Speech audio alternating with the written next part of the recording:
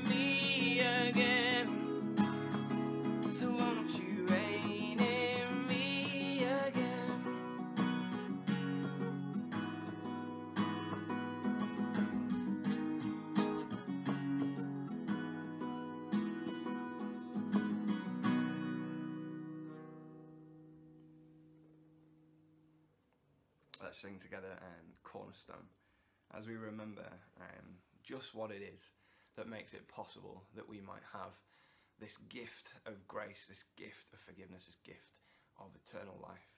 It is only through Christ, and He's the cornerstone of our, of our entire lives now, once we've accepted Him as our Lord and Saviour. So let's sing this song, Cornerstone, together.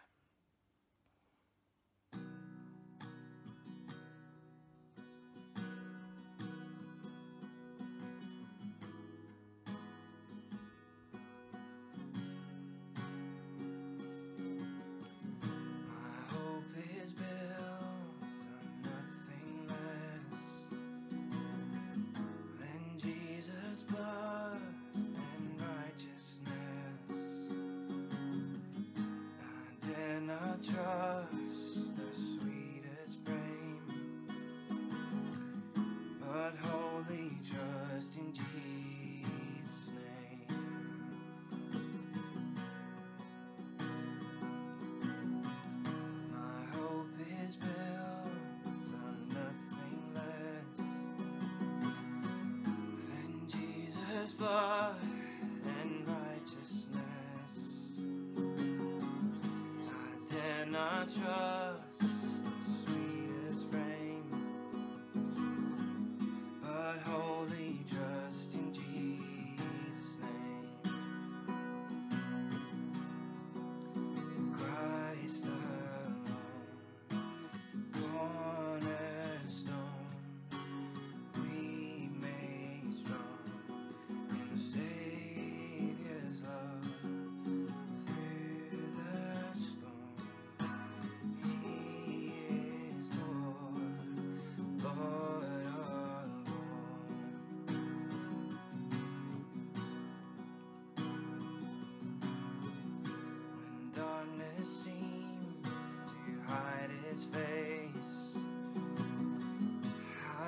sun here.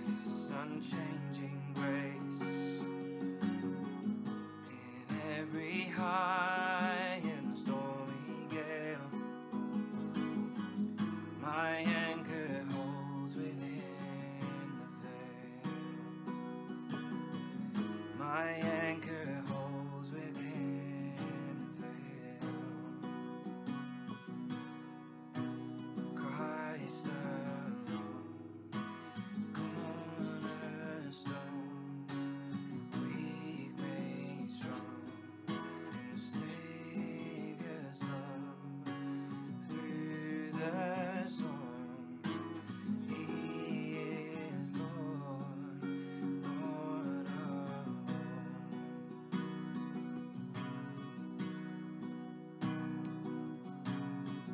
When He shall come with trumpet sound, oh may I then.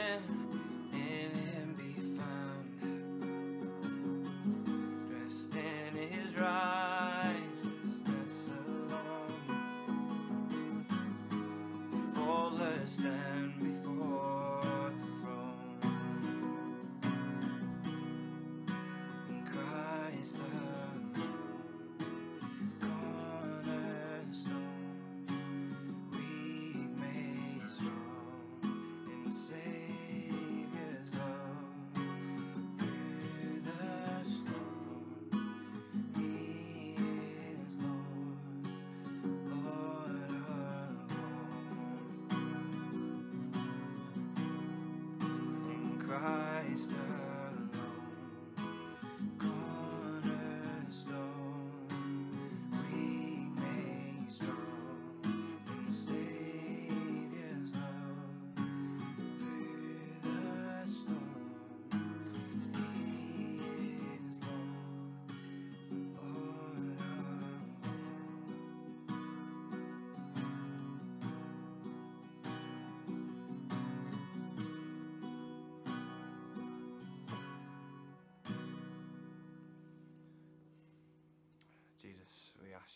cornerstone of our lives every single day, Lord.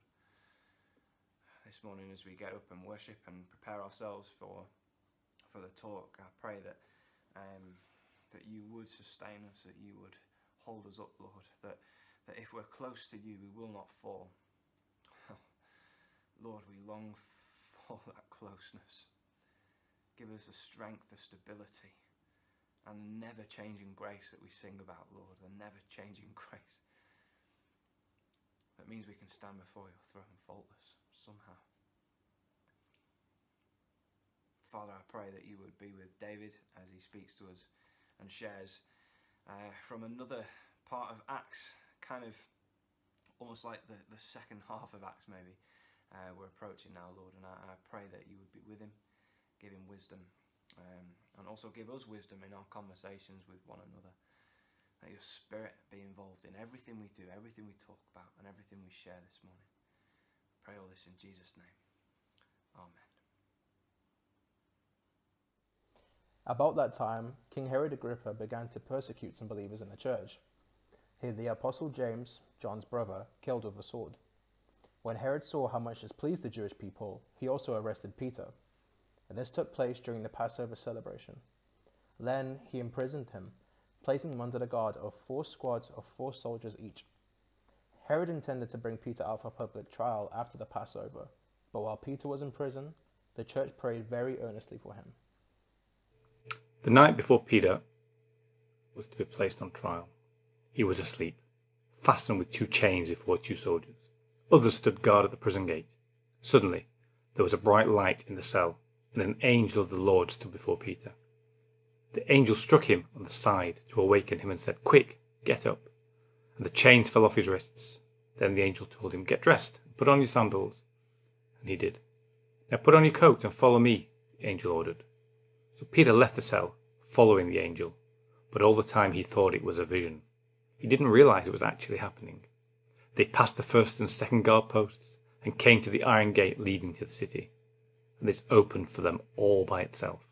So they passed through and started walking down the street, and then the angel suddenly left him. Then Peter came to himself and said, Now I know without a doubt that the Lord sent his angel and rescued me from Herod's clutches and from everything the Jewish people were anticipating. When this had dawned on him, he went to the house of Mary, the mother of John, also called Mark, where many people had gathered and were praying. Peter knocked at the outer entrance, and a servant girl named Rhoda came to answer the door. When she recognized Peter's voice, she was so overjoyed she ran back without opening it and exclaimed, Peter is at the door. You're out of your mind, they told her. When she kept insisting that it was so, they said, It must be his angel. But Peter kept on knocking, and when they opened the door and saw him, they were astonished. Peter motioned with his hand for them to be quiet and described how the Lord had brought him out of prison. Tell James and the brothers about this, he said, and then he left for another place. In the morning there was no small commotion among the soldiers as to what had become of Peter. After Herod had a thorough search made for him and did not find him, he cross-examined the guards and ordered that they be executed. Now Herod was very angry with the people of Tyre and Sidon, so they sent a delegation to make peace with him, because their cities were dependent upon Herod's country for food. The delegates won the support of Blastus, Herod's personal assistant, and an appointment with Herod was granted. When the day arrived, Herod put on his royal robes, sat on his throne, and made a speech to them. The people gave him a great ovation, shouting, It's the voice of a god, not of a man. Instantly, an angel of the Lord struck Herod with a sickness, because he accepted the people's worship instead of giving the glory to God. So he was consumed with worms and died. Meanwhile, the word of God continued to spread, and there were many new believers. When Barnabas and Saul had finished their mission to Jerusalem, they returned, taking John Mark with them. Welcome. As you can probably tell, they've opened the barbers. Uh, when next year students look at the virtual learning resources I've been creating, it'll be very obvious which were created before and after July the 4th. Well, this uh, morning's passage is Acts chapter 12. And before we get into the meaty stuff, I want to just talk about a few bits and pieces to do with the text. An introduction, if you like. But first, let's pray. Lord God, we just ask you that as we come to study your word, as we come to listen, that you would speak, that we would listen, and that you would enable us to understand what this text has to say to us this morning. Amen. So, first off, Acts chapter 12 is the close of Acts part 1. It's a bit like a TV show and a spin off based on a reformed villain. Yes, I did just compare Acts to Xena Warrior Princess. And while I might be the first to do so, after this sermon gets out there, I'm sure I won't be the last. Well, maybe I will. Anyway, in the first 12 chapters, the main characters are the 12 apostles, and Paul is introduced as the enemy, the persecutor of the church, who is then converted by his encounter with Jesus. Then in the last 16 chapters, yes, like some TV series, the sequel has a longer run than the original. It's all about Paul, with only one crossover chapter where Paul goes to Jerusalem to meet with what's left of the 12, as Paul goes to meet them in chapter 15. The first section has Peter as its focus, the last section is all about Paul. But there's more to this split than just the shift in main character. It follows the path set out in the first chapter. In Acts 1 and 8, we are told the mission is to Jerusalem, Judea, Samaria, and to the ends of the earth. While the first 12 chapters are all about Jerusalem, Judea, and Samaria, the last 16 are about the ends of the earth, as Paul works his way around the Mediterranean to Rome. Well, it might not be the physical end of the earth, because even then they knew the earth was a globe. It's not even the end of the Roman Empire, with Paul longing to go beyond into Spain, and you can find all, all about that in the book of Romans. And they knew about plenty of other places as well. However, it is the sociological end, from the backwater province of Judea to the heart of the empire, from God's city to the city which is the seat of oppression and opposition. Anyway, the last half of the book is about the mission to the Gentiles, ending in Rome. This chapter is also the last we hear about Peter. In Jerusalem, the leadership shifts to James, the brother of Jesus. But why does Acts finish Peter's story with he went to another place? What place? Does the writer not know? Does he choose not to say? Some suspect that Acts was written to be used in Paul's trial in Rome, and that Peter had went to Rome, and so they didn't want to give away his location.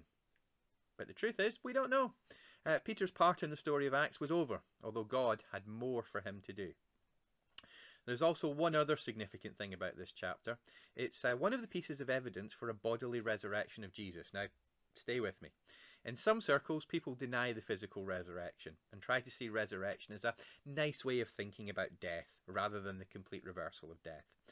When Peter shows up at the gate, they think he's been executed. They think, like James, he's been killed and it's his spirit or ghost. They use the word angel, but they're, they're kind of the languages of a spirit or a ghost. It's a completely different language to that of resurrection. They don't say, it's Peter's resurrection. Oh, Peter's been killed and he's come back to life. It's evidence that they had words for life beyond death, and it's not resurrection. Resurrection is coming back to physical life. They had an expectation of seeing his ghost, as we might put it. And that's how they talked about Peter. It's not how they talk about Jesus. They use very different language, the language of resurrection, which was completely different.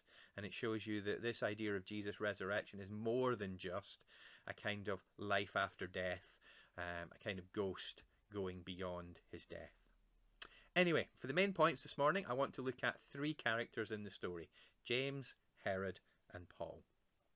Firstly, James. Now, this is James, is James the brother of John. There are quite a few Jameses in the New Testament. Uh, there were two in the twelve, and the James who came to lead the Jerusalem church was the brother of Jesus, and he wasn't one of the twelve. The thing we focus on with James is that why did he not merit a save? Peter gets an angel, guards who fall asleep, and he gets all the big rescue. James, he gets the sword. Why did Peter get saved, but James didn't? Well, Peter did get saved this time, but ultimately we believe, and from the historical record, we believe he did die a martyr, um, as did at least 11 of the other disciples. So it's not just a case of why didn't God save James, as to why God chose to save one here but not the others. It's a question that Christians and others have asked many times down the years. Why does God choose to save some but not others? And one of the lessons that we learn from Acts is that God uses persecution and oppression to grow his church. This is not an accident, it's not even what God can do despite the situation. Jesus won the victory for us on the cross. And he calls his followers to take up their cross and to follow him. God saved us through Jesus' suffering, and there is something redemptive about this unjust suffering. When God's followers unjustly suffer, God is somehow able to turn this into the salvation of others. This was not just the case in the book of Acts, it's repeated in our, um, in our history, and it's a major theme of Revelation, and it's there in other books in the Bible as well.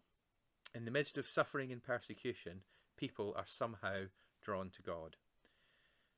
what can we learn from that? It's this when things seem to be going wrong, God is still there. And God is able to use the tough times, sometimes more so than the good times. And even if we don't see the good coming out of it for us, maybe God is using it for others. It's not to say we can't try and make things better or pray to God to escape. And most of the chapter is about people calling for God to remove somebody from a similar situation. However, if God chooses not to answer that prayer with a yes, it doesn't mean God's not there in that situation and God's not at work and God can't do great things. The way we react, the way we remain faithful to God, can stand like a beacon calling to others, even if we don't get to see it. The second character is King Herod Agrippa I. The story of Herod Agrippa I is a story of vindication. Now, I, I, spoke about this a few weeks ago. However, as I chatted with people afterwards, I may not have been as clear as I could have been or thought I'd been about what that actually meant. Vindication is the legal idea of being declared to be in the right. Now, at the moment, as I write this, Johnny Depp is suing the Sun over claims it made about him being a wife beater. A wife beater, sorry. Now, according to the BBC, if he wins this, he is likely to have spent more money on lawyers and on the case than he will get in damages if he wins. So he's going to go through all this court case and he's going to lose money. So why is he doing it? Because he wants to clear his name. He doesn't want to be known as a wife beater. He wants to be vindicated, to be declared in the right. That's what vindication means. Of course, there are other non-legal usage which echo the same idea. Now, while we would never wish anyone harm, when people who intentionally ignore social distancing, who refuse to wear masks, and who break lockdown to have parties, then end up in hospital with COVID 19, those of us who stuck to the lockdown, socially distance, wear masks, feel vindicated. We were right to do those things because we can see the consequences if we do not. As I say, we're not trying to wish harm on anybody, but when these things happen, you say, Yes, I was right to go through all of that because I got saved from the consequences. On social media, on one social media platform called Reddit, it has a group called Leopards Ate My Face. And uh, the About section says this I never thought leopards would eat my face, sobs woman who voted for the Leopards Eating People's Faces party. Revel in the Schadenfreude anytime someone has a sad because they're suffering their consequences from something they voted for or supported or wanted to impose on other people. That kind of reflects this but it also represents Herod pretty well. I think Herod in this chapter gets a mention in that Reddit group. The one who killed one apostle, arrests another to kill him as well, finds himself on the receiving end of God's justice. On one level, this is a reminder that while God may not be seen to be acting at the moment, while it looks like God's enemies are winning, God has not forgotten. Ultimately, God is just and he will put the world to right. Ultimately, he will find in favour of his followers, no matter what they suffer now. I don't know what circumstances you're facing at the moment. I don't know what injustices you're suffering due to your faith. I don't know what the hardships that you face. But I do know that following God will be vindicated, will be proved to have been the right decision in the end. If not in this life, then in the next. And this story also plays an important role in the story of Acts.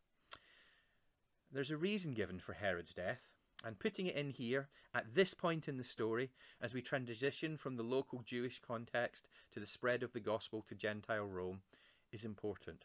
Herod is struck down for accepting claims of divinity from his people, for treating him like a god. And as the book is shifting to Turkey and Europe on the way to Rome, one of the big challenges to Christianity in Turkey is that Christians will not join in the local emperor worship, where the Roman emperor is worshipped as a god. This isn't just a challenge to Herod, this is a warning shot across the imperial bow. This is God saying, I'm noticed and I'm not happy. The way God deals with the Roman emperor's claim to divinity is not the same as Herod Agrippa I, but is no less certain. And I think it's very clear from history who was on the right side of this situation. Finally, we get to Peter, which is where most people focus on in this story. Well, if you hadn't noticed, I'm not most people. But you do have to talk about Peter if you're going to talk about Acts 12. And this story about Peter seems odd. I'm not just talking about the humour. Yes, the Bible has humour. The whole picture of Rhoda leaving Peter, standing at the door while the church prays for him to be released, while he's outside the door knocking to be let in. It's intentionally funny. I'm thinking more about the fact that while everybody seems to be praying, nobody really expects God to act. Now, I've talked before about this attitude of being faithful without faith. Not that we don't believe in God, but that perhaps we don't really believe or expect Him to do something in our lives. Clearly, despite calling an all night prayer meeting, and despite the fact that they're all praying for Peter, they don't really expect Peter to be rescued. But he is. At other times, we're told that stuff didn't happen because of a lack of faith. Didn't seem to be the case here. On one level, it seems like this is because of God's plan. He still has work for Peter to do, so Peter is rescued. On the other hand, it's an act of grace. God is sovereign, it's His power at work. He's not some fantasy book or computer game deity that builds up power due to the strength of faith and number of his followers. God is free to act as he sees fit. He's not limited by us. However, he does often act in response to our faith. There is somewhat of a tension here. But there are a couple of points to think about here. When are we faithful but lack faith? When we pray for God to act, do we really believe that He will? When we bring things to God, do we do it out of habit, out of duty, because somebody told us that we should? Or because we actually believe in a God who will intervene?